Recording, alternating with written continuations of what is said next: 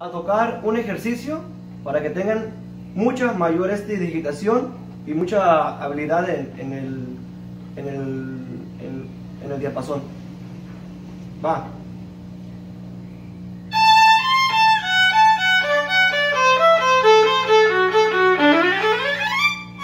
A velocidad.